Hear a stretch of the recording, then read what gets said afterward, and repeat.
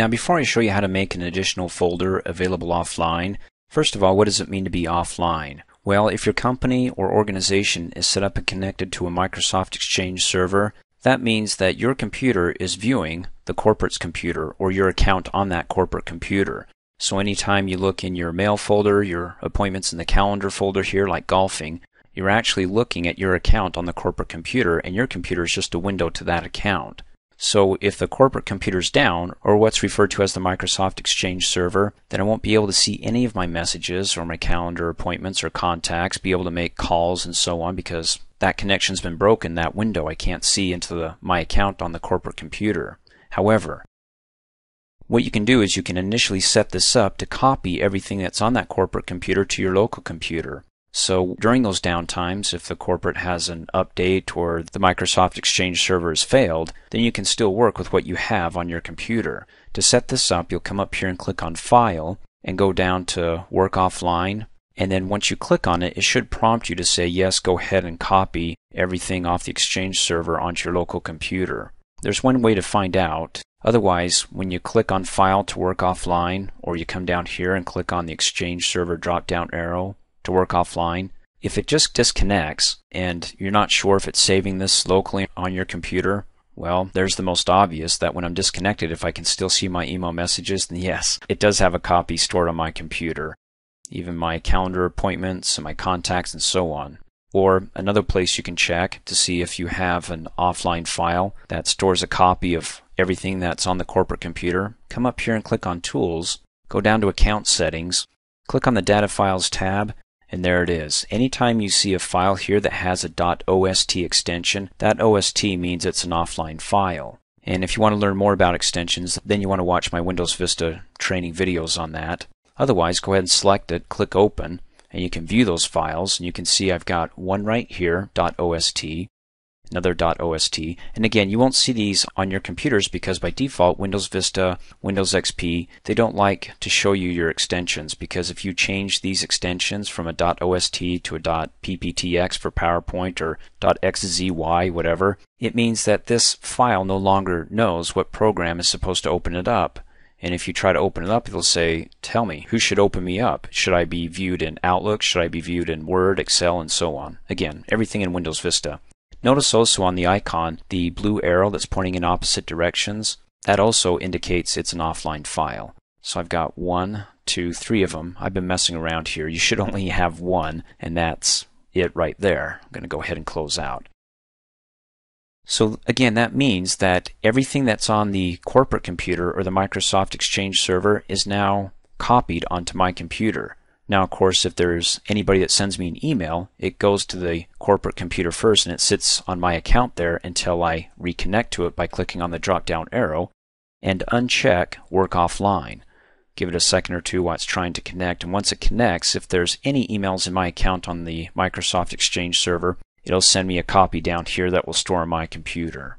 So making folders available offline means that by default, you don't know this, but most of the more popular folders like your mail, calendar, appointments, and contacts automatically store a copy of what's on the corporate computer or the Microsoft Exchange server onto your computer. Again, so when you're disconnected, you can still work. There are some folders that aren't, and so that's the purpose of this training video. To find out what folders aren't, come up here on the standard toolbar and click on the drop down arrow to the right of send and receive and then come down here to send receive settings and then click on define send receive groups. By default you should just have one group. You can create additional groups but let's just work with the one here and it says you can send and receive when you're online and offline. Let's go ahead and edit that because what we're going to do here is up at the top if you don't have it checked go ahead and check include the selected account in this group. What account are you going to include? Well, over to the left-hand side, you have a Microsoft Exchange Server account. When you check it, watch what happens when I uncheck it. See that little icon, how it goes from arrows to a red X?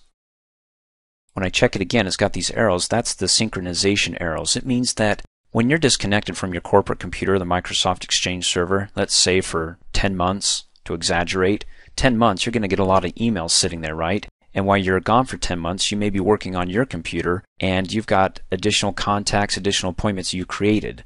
Once you sync up or connect, anything that's different is going to be copied over either onto the corporate computer, the Microsoft Exchange server, or copied from there onto your computer. I mean, you would want a copy of the email messages that you have been getting onto your computer, and also the Exchange server wants a copy of all your contacts um, copied onto the server itself. That's what it means to sync up. So there's no differences between your local computer and all your items here and the Exchange server or the corporate computer and all the items stored there. And then down below you can see that by default these are the, the folders that will be synced up or that will store a local copy on my computer. Again, the more popular ones by default you'll see will be the inbox, outbox, deleted items, sent items, calendar, contacts, and task folders.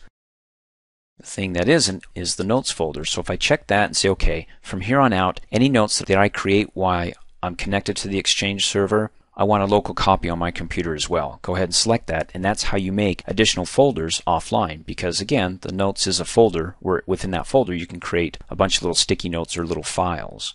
You see, it's really simple. It's just a matter of understanding what the heck offline means. And that's what it means if you're set up and connected to an Exchange server. Only so many folders are going to be copied onto your local computer. So when you're disconnected, you can still work on them. Now, I already showed you how to disconnect from the uh, corporate Microsoft Exchange server and now to reconnect. Just click on the drop down arrow here.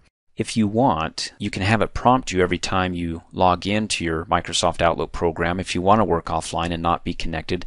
Sometimes you don't want to work online because the slow or latency between your computer and trying to connect to the internet and hitting the corporate computer. So there may be times where once a day you just want to go ahead and sync up and you know receive all your emails and be able to copy back and forth those items so they match on your local computer and the corporate computer. In any case, if you want to be able to have that option every time you log into your Outlook program, come up here and click on Account Properties. Then on the General tab down below, you can select manually control the connection state. So when I click apply and then click OK, or you can just click OK and click OK again, close out. Next time when I open up Outlook, it's going to say, do you want to be connected to the corporate computer or do you want to be disconnected or working offline? So you don't have to be constantly slowing down your computer with sending and receiving and updating and, and so on. So let's see what it looks like. I'm going to go ahead and close out of Outlook here and then open it back up. There's the icon there in the taskbar. I'm going to choose my Microsoft Exchange account, which means I'm connected to the corporate computer, versus my local computer, which is this one right here. Again, yours may be different, but the point being is when you open up Outlook again, it's going to prompt you. You can connect to the Microsoft Exchange server and work that way, and maybe it'll slow your tasks down as you're working in Outlook, or just work offline, not be connected to the corporate computer, make all your changes, do whatever you want, and then when you're ready to sync up, in other words, have any changes made on your local computer, be synced up and copied to the corporate, and the corporate, any email messages or tasks or appointments that people have created and invited you and so on, will copy onto your calendar. Then either come over here and click on the drop down arrow from offline and uncheck it to work back online, or you can leave it offline and just do a quick check and still work offline. To do your quick check, come up here on the standard toolbar and click on the send and receive drop down arrow. And do you see where it says this folder, Microsoft Exchange? That's the folder that when we click on it, is going to try to connect to the Exchange server, and of course I'll have to type in my password to connect to the corporate computer and hit enter, and it's going to do one-time update or check. And you see it's processing, it's syncing up. It's saying, okay, this is what Kirt has different on his computer, this is what we have different on the corporate computer. Let's copy them back and forth until we're equal and we have the same information. And then I'm still offline. So then I can go back to work and not have to be well, if it does slow you down, you know, work offline and then do all your work offline and then every now and then, you know, just click on the drop down arrow and send and receive with that group. If that's the only group that you have, then you can just click send and receive right there. And it's checking here Microsoft Exchange. And then once it's done checking, of course, it'll go from connected to offline. And there we go, offline again. Now really quickly, I want to go back and turn this back to always being connected, and there's two things I have to do to take it from this state to back to every time I log into Outlook, always connect and stay connected. Click on the drop down arrow here for send and receive. Go down to send receive settings, and we're going back to the define the send receive groups. Now this account right here, when we clicked edit, had all the checkboxes that we wanted to sync up to. I can uncheck some of these and click cancel and create a new offline group. And in that offline group, I can, again, you'll see the same boxes here. I can check what boxes I would like to update or sync to.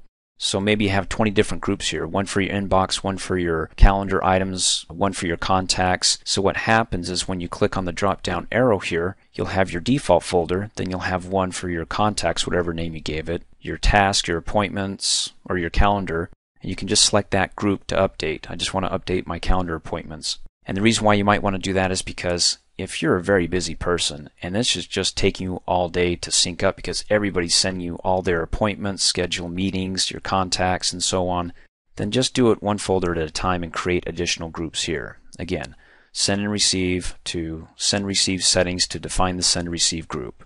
Instead of creating additional groups, I'll just select the one, the default, click edit, and then I'll click on account properties because I want to automatically to detect the connection state. I don't want to manually control my connection. I want to automatically detect it. Now notice it's just going to detect it. It's not going to actually turn it on for me. So if it's off, it's always going to be off. If it's on, it's always going to be on. So let's click OK, click OK, and close out. It doesn't automatically turn it on. I have to not only set the state to automatically detect, but also uncheck the work offline so I'm constantly connected. So next time when you close out and you log back into Outlook, again to my hosted Exchange server and click OK. Of course, type in my password and hit enter. It's trying to connect to the Exchange server, and now it's connected. Thanks for watching. Hey, as a quick reminder, if you like my video, please give it a thumbs up. You can also click on me and subscribe to my channel, get notified of the latest videos, and for only $2 a month, you can have access to all my Microsoft Office training videos.